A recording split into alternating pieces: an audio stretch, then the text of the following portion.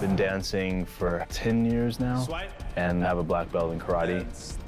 So I think putting those two together made me uniquely qualified for making the gestures for the magic moments in the movie. I do hip hop and I do popping and tutting.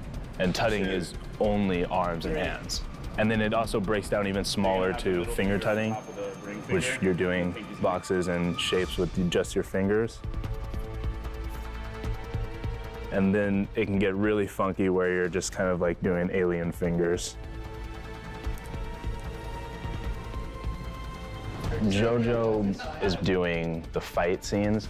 I make the gestures to materialize these weapons and powers, and he gets to fit those things into the actual fight scenes.